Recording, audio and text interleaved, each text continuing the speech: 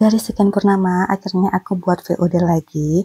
Hai hai bunda-bunda, apa kabar semua hari ini? Semoga kita dalam keadaan sehat dan segala urusannya dilancarkan. Oke, jadi video ini aku tag di hari Minggu dan biasa ya kalau hari Minggu itu aku selalu berada di kebun. Pagi-pagi begini aku mau liatin dulu video yang segar-segar ini ikannya lagi berenang. Oke, kita tinggalkan dulu ikannya yang lagi berenang. Nah, ini sekarang aku berada di rumah ibu. Dan sekarang aku mau masak dulu. Nah, siapa yang tahu nih ini apa namanya? Kalau di sini namanya itu balang sangit. Ayo siapa yang suka dan bisa makan balang sangit? Nah, ini akan aku buat sambal. Dan balang sangitnya ini aku beli satu bungkusnya itu 2000, isinya cuil ya, sedikit sekali tapi nggak apa-apa ya. Dan aku belinya dua bungkus aja. Oke, mempersingkat waktu ya, biar durasinya tidak terlalu panjang. Ini balang sangitnya aku bersihkan dulu dari kotoran-kotoran. Biasanya ini ada kotoran seperti daun-daunan. Nah, biasa ya ya kalau balang sangit itu selalu hinggap di dedaunan jadi kotorannya cuma daun aja. Dan ini balang sangitnya masih hidup ya bunda-bunda ya tuh masih ada yang jalan-jalan dan ada juga yang berterbangan.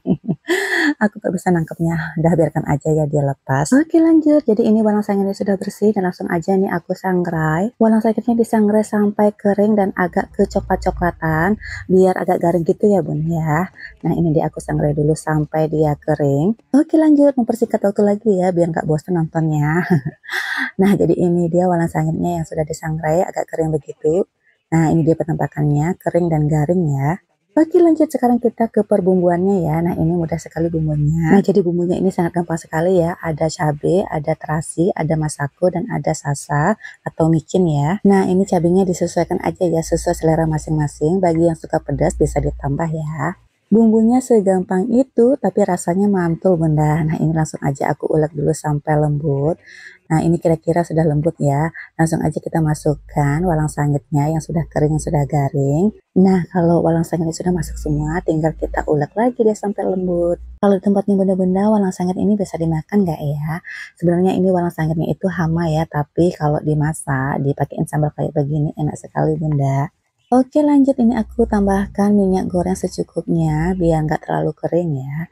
Dan jangan lupa tambahkan jeruk limau biar makin seger. Nah ini aku singkirkan dulu bijinya biar nggak pahit dan ini sudah ada yang menunggu ya. Ponakanku sudah nggak sabar nih mau makan balang sangit. Oke lanjut ini balang sangitnya sudah jadi dan ini dia balang sangit dua bungkus tadi jadinya cuma segini. Oke nah ini dia ibuku. ini dia tambahkan nasi dicobeknya diulekannya biar nggak ada yang terbuang-buang gitu ya.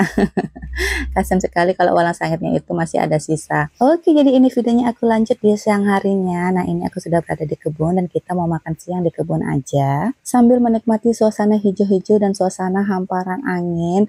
Anginnya di sini sepi-sepi sekali ya. Sebelum makan kita cuci tangan dulu. Nah ini dia walang sangitnya. Dan ini ada tempe sisa sedikit dan tadi kita buat ini sate lempeng dan ikan kering. Segini aja sudah mantul sekali ya lauknya dan ini ada sayur kelor juga. Nah ini dia aku mau menikmati sambal walang sangitnya. Enak sekali bunda, mantul. Ayo bunda-bunda siapa yang bisa makan sambal balang sangit? Ada yang bisa atau enggak ya?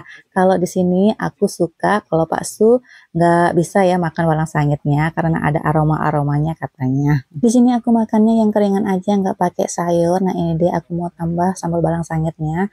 Wih mantul sekali bunda. Wah gimana ya nikmat yang mana kau dustakan. Kalau di sini keluarga aku suka semua ya sambal balang sangit. Kalau aku juga suka, kalau Pak Sungga suka. Nah ini dia aku masih menikmati. Ini sate lempengnya enak sekali. Dan tadi aku nggak ngerekord ya waktu buat sate lempengnya. Karena ini sudah di akhir video aja dan aku akhiri ya benar-benar ya. Dan aku lanjut mau makan dulu. Terima kasih sudah menonton and see you next video. Bye bye